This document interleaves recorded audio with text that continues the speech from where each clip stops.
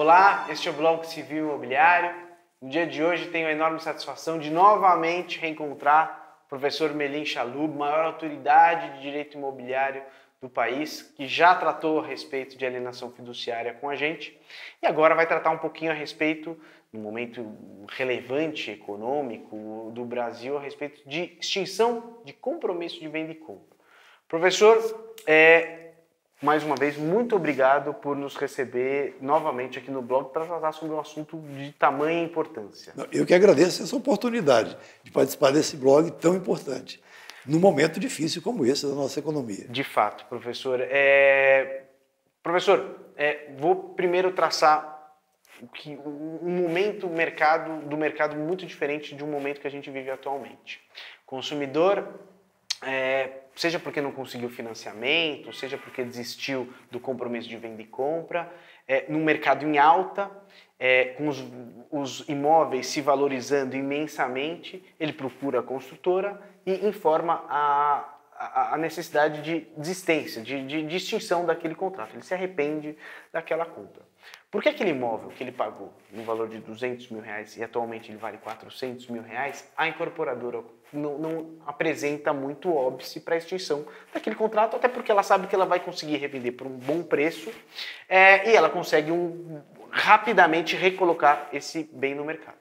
Tempos atuais, o sujeito ele paga um valor de 400 mil reais neste imóvel, ele já, a incorporadora já não consegue vender pelo mesmo valor, ele não consegue o financiamento, ele procura a empresa para realizar a desistência deste contrato e agora as incorporadoras, de uma forma bastante justificável, ela disse que simplesmente nesse momento não se pode realizar o distrato. É, eu queria saber, pela súmula número 1 aqui do Tribunal de Justiça de São Paulo, pela súmula 543, aparentemente nos dá a ideia, pela leitura da súmula, que o consumidor, mesmo inadimplente e a qualquer tempo, de forma imotivada, ele pode se arrepender. É, a incorporação imobiliária, no regime da incorporação imobiliária, admite-se a extinção do contrato dessa maneira? É, essa questão é uma questão realmente controvertida é, e delicada nos dias de hoje. É, no meu modo de ver, essa súmula que admite a resolução ou a desistência, mais precisamente, como diz a súmula, uhum. do contrato de compromisso de compra e venda na incorporação imobiliária, contraria frontalmente a Lei 4.591 de 64. Por quê? Porque o artigo 32 da Lei 4.591, no parágrafo 2 dispõe que o contrato de promessa de venda ou de promessa de cessão de frações ideais e unidades em construção pelo regime da incorporação imobiliária é irretratável. E é uma razão de ser e, a, e é irretratável, então vejam vocês a força dessa irretratabilidade. Não se trata de um contrato em que os dois contratantes escolhem definir aquele contrato como irretratável. Não. É a lei que define o contrato de promessa nas incorporações como irretratável. E qual a razão disso? Por que a lei vem definir como irretratável? Tem dois propósitos. Tem o propósito de proteger o consumidor, adquirente, contra o interesse do incorporador, de num momento de euforia do mercado, querer retomar o imóvel, desistir da promessa de venda que fez e retomar o imóvel para ter um lucro maior, protege o consumidor nesse sentido e protege o negócio da incorporação. Não protege o incorporador, protege o negócio. Por quê? Porque o negócio da incorporação é desenvolvido com um capital arrecadado pelas promessas de venda feitas durante a construção. Porque o, contrato de incorporação imobiliária, como a gente sabe, ele se caracteriza pela venda de unidades como coisa futura. Perfeito. E por isso ele, ele, ele comporta, ele importa em captação de recursos do público para a realização daquele negócio. É um negócio parecido com um project finance, certo. em que para a realização de um determinado empreendimento.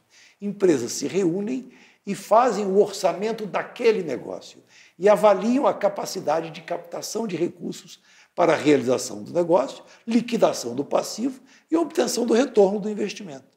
Esse é o mecanismo de uma incorporação imobiliária. Assim se faz uma incorporação imobiliária. E a lei cuidou não só de definir como tal Um contrato irretratável para atender a essa necessidade do negócio.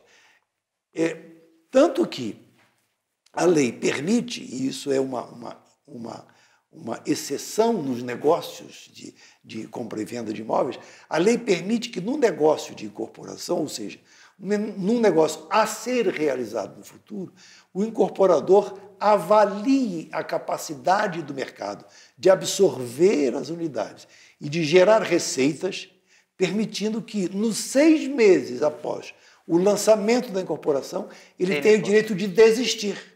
Porque se ele verificar que eh, o negócio não é capaz de autossustentar-se, ele desiste. Ele desiste em favor do seu próprio negócio e em favor dos adquirentes que, se que compraram. Vão pagar Porque não vão se receber. não houver receita, não será possível realizar e não vão receber o seu, as suas unidades. Essa é a razão de ser da irretratabilidade da promessa de venda nas incorporações imobiliárias. E é, é contrariamente a isso, vem a súmula e dispõe que qualquer adquirente, a qualquer tempo, tem o direito de desistir imotivadamente. E me permita concluir. Isso, o fato do contrato ser irretratável não significa que o contratante é obrigado a cumpri-lo até o final, ainda que venha a, a falir, a falir, a ficar insolvente, enfim, a bancarrota. Não. Evidentemente que os contratos podem ser rompidos por várias razões, por incapacidade de pagamento, enfim.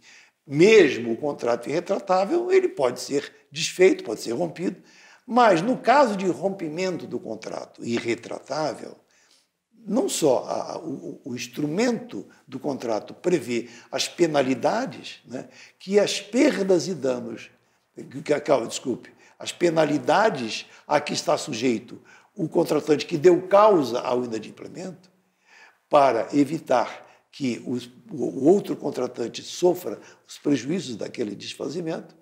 E por isso é que na, não, não, na, nada impede que, por razões que ocorram ao, no, no, curso do contrato, o, quando o, o, o adquirente, o consumidor, é, não possa cumprir o contrato e tenha que desligar-se do empreendimento.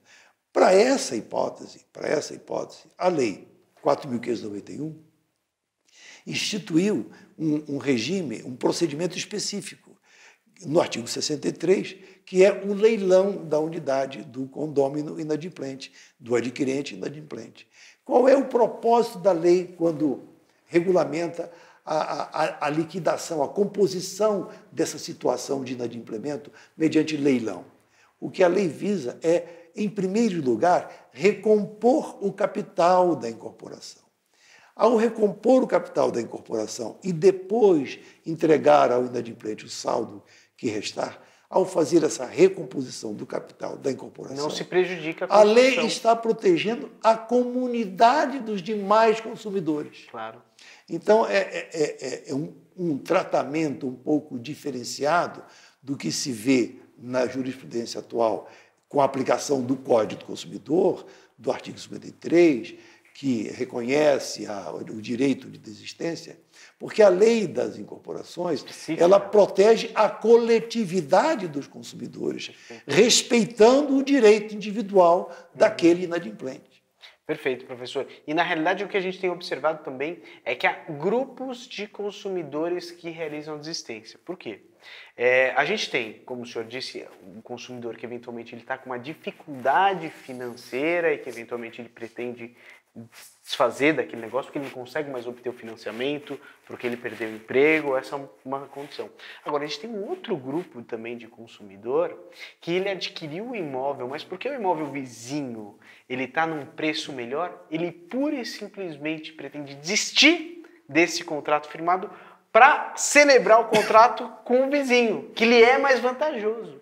E de fato, se todos esses consumidores se desfizessem desses contratos, você teria a inviabilidade da construção daquela obra, né? Exatamente, exatamente. E, e, e, nesse caso, nós estamos não diante de um consumidor, ou seja, aquele que é o destinatário final um para uso próprio. Estamos diante de um investidor, ou de um não, ainda que não seja investidor, mas de um de uma pessoa que não adquiriu como destinatário final para a sua moradia. Na realidade, o, o adquirente merecedor de uma tutela especial é aquele destinatário final para sua própria moradia. Perfeito. O investidor, ao comprar com esse interesse de lucrar, que é legítimo uhum. para todos nós, para qualquer de nós, ele está correndo os riscos típicos do negócio. Então, esse consumidor não tem, não tem, não é merecedor de uma tutela diferenciada de um negociante qualquer. Ele é um negociante que realizou um negócio a risco e tem que assumir o risco. Se ele se tornar inadimplente, ele se sujeitará às penalidades previstas no contrato. O pacto que foi um pacto que agora se coloca é, celebrado no Rio de Janeiro, mas que, enfim, ele acabou não prosperando porque ele teve, é, por parte de, do Ministério Público, da Defensoria, é, muita retaliação, mas ele previa uma multa nesses casos, ou seja, a incorporadora poderia realizar uma, aplicar uma multa de 10% sobre o valor do contrato, Sim. né? Ou, ou em alguns casos parte do que foi pago. Enquanto a jurisprudência aqui no Tribunal de Justiça, em alguns casos, ela determina a devolução de 90% dos valores. De fato, a gente começa a ver agora alguns julgados que, diante da, da crise econômica, já têm autorizado a retenção de 50%. Mas essa insegurança jurídica culmina é, no construtor, ao longo do contrato, simplesmente não saber se ele deve ou não realizar a devolução dos valores, é, qual, o que é o valor correto, e existem alguns projetos de lei para tratar a respeito disso. Um deles do, do, do, do candidato que é prefeito Sérgio Russomano e outro do Romero Jucá. Você acredita que a necessidade efetiva de alteração é, na lei 4.591 ou basta a gente se atentar àquilo que já dispõe a, a, a, lei de incorporação imobiliária? Aí eu acredito que não há necessidade nenhuma de alteração legal. É, eu acredito que não há nenhuma necessidade de alteração da lei. A lei regulamenta, o, o leilão extrajudicial previsto na Lei 4.591 é o procedimento adequado para este tipo de negócio, porque ele é um, uma, um mecanismo de proteção do negócio. E a proteção do negócio é a proteção dos participantes dos negócios, que são o incorporador, que exerce uma atividade empresarial legítima, e os adquirentes, que são os consumidores. Né? Essa coletividade é que merece ser protegida. Esses contratos são contratos comunitários, de modo semelhante aos contratos dos consórcios, por exemplo. Certo. Então, claro, há distinções entre o contrato de promessa de venda na incorporação e o contrato de consórcio. Claro. Mas em ambas as situações, há um contrato comunitário. Esses contratos são considerados contratos comunitários. E por isso, é, é o, o, STJ, depois de muitos anos de, de debates sobre a restituição do, do, do, dos recursos, da, das prestações pagas pelo consorciado inadimplente, acabou por firmar-se no sentido de que a devolução só se dará ao final do, do, do, do grupo do, ao, ao, final do, do, encerramento do grupo. Claro. No encerramento do grupo, quando todos os consorciados que permaneceram já foram aquinhoados com, o seu, com os bens pelos quais pagaram. Situação semelhante é a da incorporação imobiliária. Por quê? E por que fez isso o STJ? E para proteger o capital desses consorciados, desse grupo de consorciados. Respondendo sua pergunta, eu acho que não há necessidade de alterar este sistema, esse mecanismo que há na Lei 4591. Mas, a despeito disso, e tendo em vista que existe no ordenamento, e não há como afastar do ordenamento, a, a, a resolução da promessa, da, da promessa de compra e venda, como a resolução de qualquer outro tipo de contrato, é conveniente que, ainda que não haja uma alteração legislativa, que haja um consenso entre ah, os setores de proteção do consumidor e, o, e, os empresários, no sentido de encontrar um ponto de convergência nessa, nessa, nessas penalidades, nessas regras de desfazimento, de devolução de quantias pagas, do momento de se devolver, com, com a visão global do cenário econômico. O cenário econômico todo. É claro que há uma insegurança jurídica muito forte é, do, do, mercado.